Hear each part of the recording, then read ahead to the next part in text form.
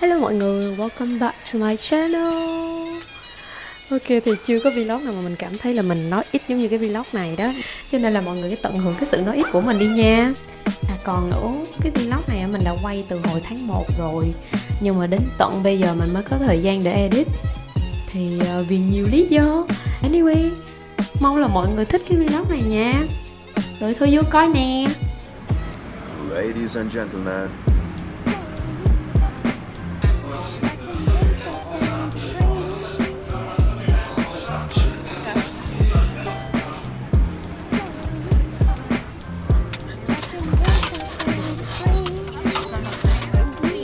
ok mọi người thì mình mới mua xong 10 vé để đi lòng vòng thành phố. Kinh nghiệm á là để tại vì ở Paris á, mình hay dễ bị phong hóc túi lắm cho nên là mình sẽ chia ra bạn mình sẽ cầm nửa một nửa của sắp 10 vé này là năm vé và mình sẽ giữ năm vé để lỡ nhưng mà một trong hai đứa có bị mất mớ á, thì vẫn còn phần còn lại còn backup đó.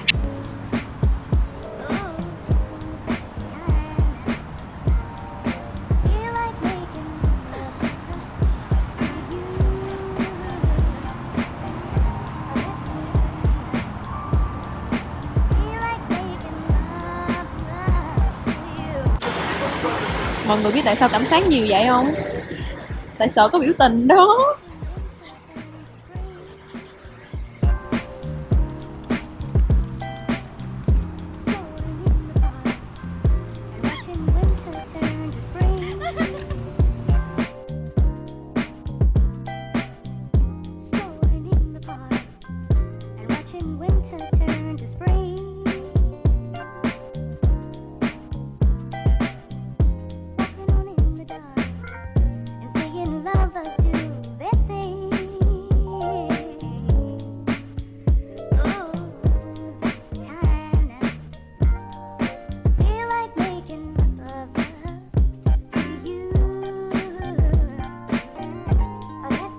đây là mì tôm bỏ vào vỏ của nó. Và đây không phải là mì tôm nữa. Đây gọi là gì bèo crazy frog Asian. Nè ngoài mì tôm ra chúng ta còn có khai vị. chúng ta còn có khai vị. Súp cua. Gửi uh, sếp bèo. Daphne Nguyên những cái cũng lên một cái gì đó? Này có mỹ khác rồi nó cũng được tao cũng được lỡ thấy ra rồi thì cái Trung Quốc mà không? Tôi không được nhưng mà lỡ thấy ra rồi kiểu gì phải ăn thôi nhìn có vẻ cũng giống súp cua này là nước gì? Nhật Bản nha. Asuzak Foods. Ê, bụng bụng này đó là bụng bụng bụng nó khoai với cái bụng tao. Ủa bụng mày nó phải bụng tao đâu thiệt luôn á. Không nếu đó là bụng được chơi thì ta sẽ có cảm giác nhưng mà tao không có cảm giác gì tao chưa không có cảm giác gì. Cái gì là bụng bụng ai đó. Cái bụng chỗ nhà nữa Hello mấy bạn, bây giờ mình sẽ ăn thử súp cua. Bèo đâu mấy bèo đâu ê thơm thơm. Ừ, thơm thơm Thơm. nè không giống súp cua đó nhưng mà ăn cũng được. Cái vị giống là được rồi. Không giống miếng nào luôn á, không giống miếng nào. Đang thử miếng bắp mà nó có giống miếng bắp không? Nó có giống miếng bắp bình thường không nha?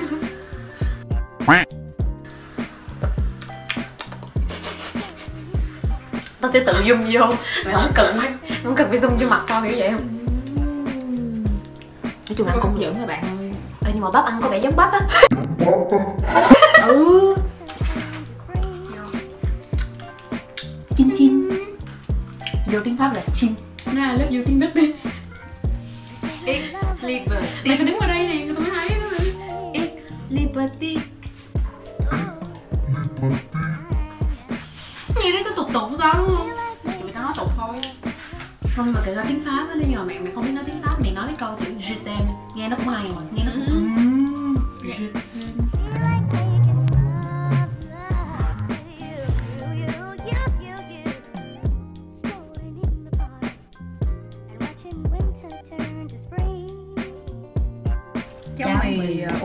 sườn bò hầm. Đây. Một uh, hương vị rất quen thuộc với các bạn học du học sinh Việt Nam.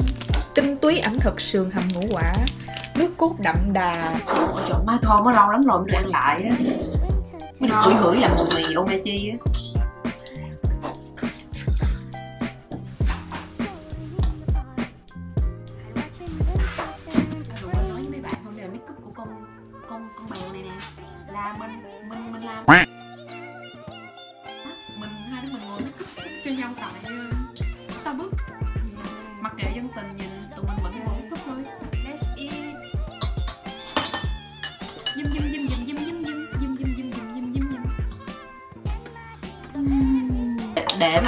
chuyến đi này. Hồi nãy giờ tụi mình rất là vất vả về cái vali. Thật sự vất vả. Trời má ơi khổ thì thôi chứ. Kể đi bèo. Cái gì? Tao sẽ vất vả. Kể kể bắt đầu từ đâu đâu biết kể gì đâu. À tại sao vất vả. Là tại vì mình có hai cái vali một vali 23 kg và một vali 10 kg nữa. Và sắp tới là mình sẽ về lại Việt Nam. Thì ban đầu mình dự định là sẽ gửi hành lý của mình ở Đức. Tại vì mình đặt chuyến bay đi từ Đức về nhưng mình nghĩ lại là thời gian quá gấp và mình không biết được chỗ nào hết hay là mình phải rinh theo. Và rất là nhỏ khi mà những chạm tàu ở Paris không có thang máy và chỉ là cầu thang bộ thôi. Rất là kinh khủng một cơn ác mộng mỗi lần mà lên vali lên. Nhưng mà có một điều á rất là đáng mừng là luôn có những cô gái không hồi đầu là toàn mấy toàn mấy chị mấy cô Đúng lên phụ tụi mình không à. Nhưng mà đàn ông con trai không ai không ai thấy giúp hết nha. Xong cái lúc sau thì cũng thấy có mấy anh tới Ừ. uh, trên phụ. Yeah. Ừ. Coi như là một chút may mắn trong ngày ờ, không được may mắn là cho cho lắm. Xin kể câu chuyện. Cái ngày hôm nay không bắt đầu với không câu chuyện không hay của mình đầu này mình đi tụi mình đi Paris khá gấp luôn á và cũng kiểu đi Paris trong tình trạng là tiết kiệm thế nên là tụi mình Đúng ăn mì tụi mình không có ra ngoài đi ăn nhà chủ yếu vui là chính là mấy bạn thôi tại vì lâu lắm rồi mới gặp ờ, Hai năm hay ba năm ờ, mày? hai năm hai năm Sophie năm có năm rưỡi à không nhớ là một năm rưỡi Một năm năm rưỡi mới mới gặp thu hương hồi đó không có nhớ gì lắm đâu tại vì kỳ thánh mày mày mày mới kêu tao là gì thu hương hả nghe cái Sophie không biết trời. sao, không biết sao nữa không biết sao nữa. Mấy hồi đó tao kêu về là hương chứ tao đâu về tao kêu thu ý, hương ý là bình thường mọi người hay kêu mình là hương hoặc là chích chòe. Chứ không ai kêu là Thu Hương. kiểu kêu thu hương Người nghĩ nó nó sướng trời nó sướng y y dài hả? Y y dài hả? Ừ. Yêu. Đợt này là con bèo nó đi ờ, trao đổi ở bên ờ, đức. Gọi tiếng Anh là exchange đó mấy bạn mà kiểu ờ, phải giữ gìn sự trong sáng của tiếng việt mà không được nói tiếng anh nhiều biết không bèo nhưng có nói gì tao không hiểu đó.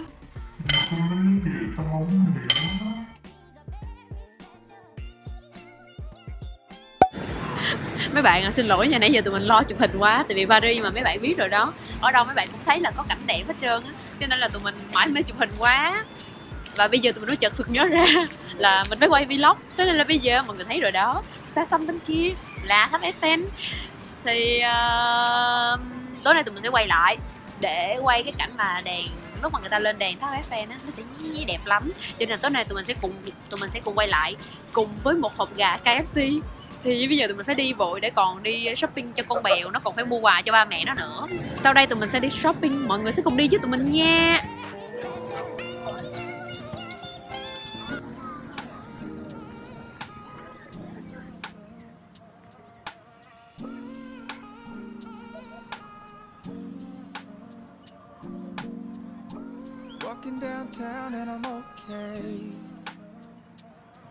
Got it all figured out. That's what they all say, yeah. Everyone's looking at me thinking that I'm different. Everyone's looking at me thinking that I'm living. But I don't really care what they all say. It's easier said than done. That guy problems with everyone, but it all comes down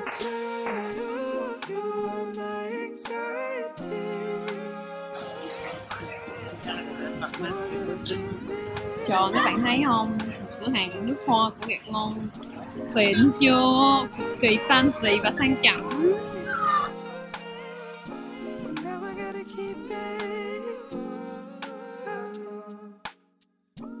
Walking downtown and I'm okay.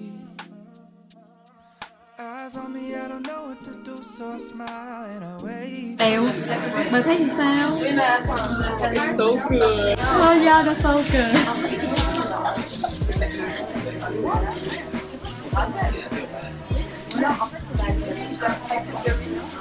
Thank you very much. I, the receipt inside, the bag is inside. Okay. you. Thank. Bye. Bye. Ok mấy bạn thì mình đang ở store của Lancome thì hôm nay là đang có chương trình khuyến mãi 25% và bạn mình vừa mới ờ, xả ít tiền cho mẹ của bạn đó thì quay trở lại với chương trình ở cái store Lancome này nè là một cái uh, kiểu như là mình cảm thấy cái store này nó rất là thú vị ở chỗ là nó có đầy đủ công nghệ tốt luôn. Thì ở cái quầy này á là có kem nền nổi tiếng của Lancome là cái dòng Ultra Wear thì cái dòng này á ở đây người ta offer cho mình một cái máy để mình có thể scan lên da và họ sẽ xem là cái cái ờ, cái kem nền nào cái màu kem nền là sẽ hợp với mình á. Mọi người có thể nhìn ở đây. Kiểu như mình sẽ chọn ừm, ừm, cái ờ, thể loại da của mình là như thế nào xong rồi sau đó sẽ scan dựa trên những cái ờ, điểm trên mặt mình xong rồi sau đó họ sẽ propose cho mình là cái kem nền nào sẽ phù hợp với mình á từng cái có vậy không Tắt ABCD. Có màn hình có hiện vô. A few moments later.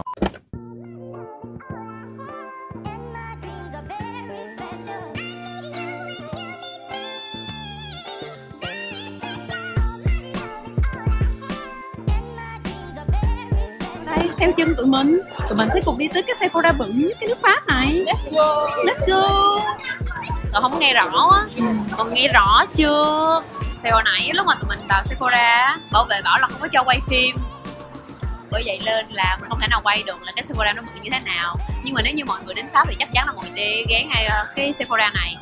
Tại vì nó trên đường Champs-Élysées và phải công nhận là kiểu hôm nay á, dịch vụ của nó tốt hơn bình thường á tại bình thường mình vào á như kiểu mà tại vì quá đông khách thì ở đây luôn luôn quá tải khách. Cho nên như kiểu mà nhân viên không thể nào mà chăm sóc khách hàng được hết toàn bộ. Như kiểu mà mình cần nhân viên tới để lấy đồ cho mình hoặc tới để tính tiền hoặc là tới để giúp mình lấy một cái sản phẩm nào đó thì chờ chờ rất rất là lâu. Nhưng mà hôm nay kiểu mình mình đang đứng chơi chơi thử thử giỡn giỡn với bạn thôi. Nhân viên tới hỏi mình mấy lần luôn. Ơi bạn có muốn chạy t- bạn có muốn tới thử dịch vụ mới của tụi mình không? Bạn có cần giúp uh, thử sản phẩm mới này của Fenty Beauty không? Kiểu vậy đó xong kiểu mình cải thiện tốt hơn rồi nè. Nói chung là mọi người tới đây thì nên vào thử Sephora nha. Tại vì nó bán toàn bộ nói chung là thực sự ra mà nói á, trên web của Sephora Pháp á, nó bán rất ít đồ so với Sephora của Mỹ cũng như là Úc cũng như là của Canada. Không biết là lý do tại sao. Cũng có thể là do thị trường tiêu dùng khác nhau. Nhưng mà riêng cái Sephora ở trên đường Champs-Élysées này nè thì nó bán tất cả hầu như là tất cả các brand đều có trên cái trong cái store này luôn cho nên là có cơ hội thì mọi người hãy tới đây nha. Rồi. thì sau khi một hồi mua sắm điên cuồng mình đã quá mệt mỏi cũng như là đói bụng bạn mình cũng vậy. Nãy giờ tụi mình bụng tụi mình kêu rồng rồng kêu mà ai để nó kêu rồng rồng kêu ọc ọc ẹt ẹt ừ. Cho nên bây giờ tụi mình sẽ đi ăn KFC đi thôi nè mình nghĩ là KFC chắc nó sẽ cho quay phim mà không đến nỗi như vậy đâu. Đây là bạn mình. Sau khi mua lăng trương shopping hết tiền rồi. Nên bây giờ anh đảm bài rồi phải ăn KFC cho qua bữa. các bạn tụi mình mới ăn xong KFC bây giờ là tụi mình sẽ ờ, đi mua trà sữa hàng trà sữa ngon nhất ở Paris này luôn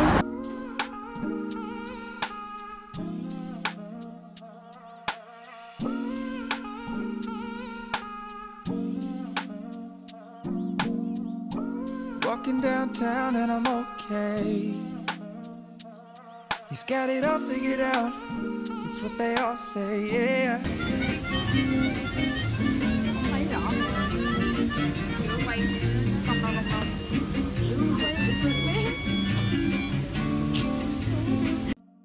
Everyone's looking at me thinking that I'm different. Everyone's looking at me thinking that I'm living. But I don't really care what they all say. Easier said than done. I got problems with everyone, but it all comes down to you. You are my anxiety. It's more than a feeling. thì đây là cái gallery Lafayette duy nhất mà mình thấy là có thiết kế hiện đại á tại vì bình thường á những cái tòa trung tâm thương mại ở Pháp họ sẽ theo cái kiểu là thiết kế cổ điển và gọi là đặc trưng của Pháp á chứ không phải là theo kiểu hiện đại như thế này đâu bên cạnh đó thì ở bên đây nhà vệ sinh cũng là miễn phí nha chứ bình thường đi nhà vệ sinh ở trung tâm thương mại ở Pháp á, sẽ không được miễn phí đâu Everyone's looking like they know what they're doing. Everyone's looking like they know what I'm pursuing. I'm trying not to give them the time of day. Easier said than done. That guy everyone,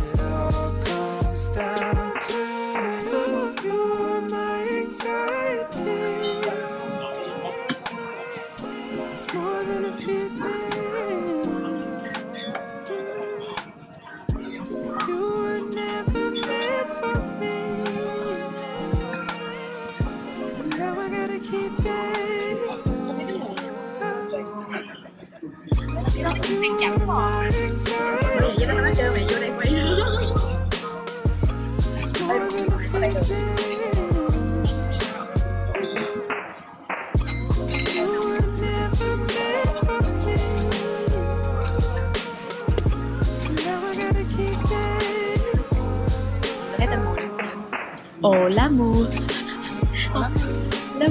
là ồ lá Trời cái tên đúng kiểu đọc à, Cái tên đúng kiểu nào Cái mùa này đúng kiểu mà lớp lớp lớp lớp luôn Thấy chưa?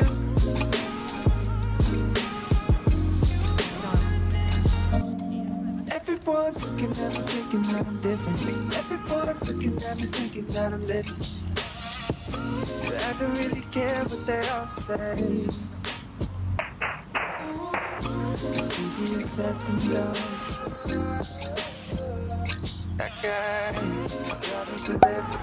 Ở Pháp khi mà nói đến macaron thì mọi người sẽ nghĩ đến thương hiệu La Đây là một cái thương hiệu đứng đầu trong cái ờ, các hãng làm macaron luôn á mấy bạn.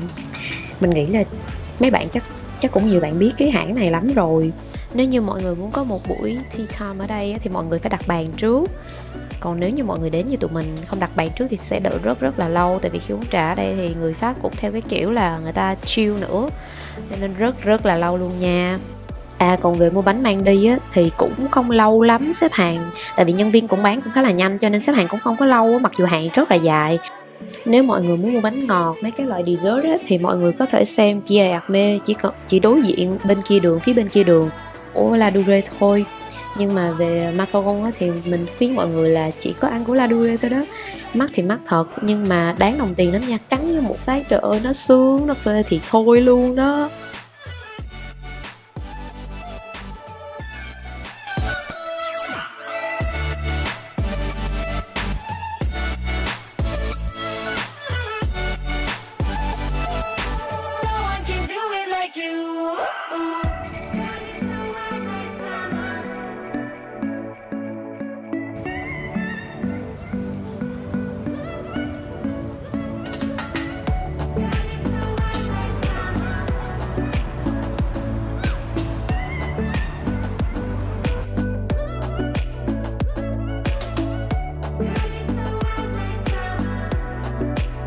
Vlog của mình đến đây là hết rồi. Mong là mọi người sẽ thích cái vlog này nha.